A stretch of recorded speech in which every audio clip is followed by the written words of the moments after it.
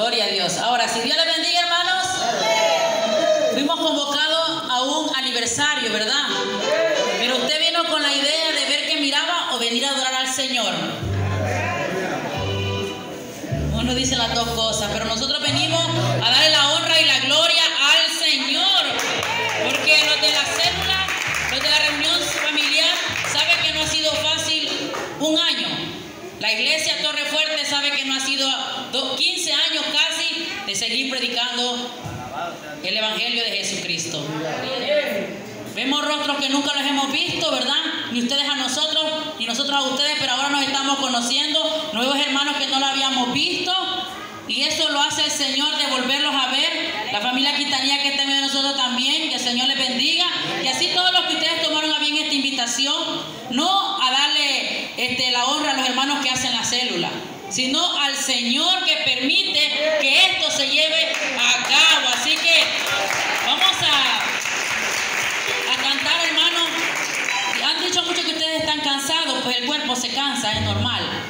Pero en el espíritu tenemos ese gozo, ¿verdad? Y por la mascarilla no se mira. Pero hay de aquellos que aquí se encienden y ahí se apagan. Y a veces se, encienden para que los miren. Y ya después, calladito. Pero aquí el Señor conoce su corazón. Así que yo le voy a poner, le voy a decir que se pongan de pie nuevamente, porque vamos a cantar una alabanza que se titula Yo te seguiré.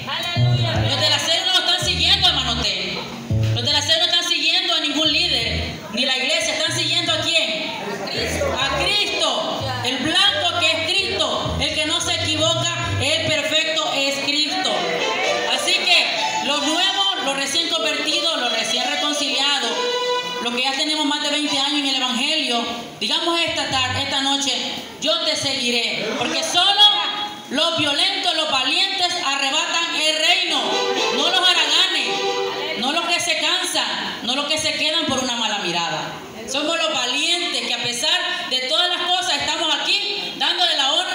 y la gloria al Señor. El hermano dijo, el ministerio de alabanza, torre fuerte, estamos en pie porque Cristo lo ha permitido.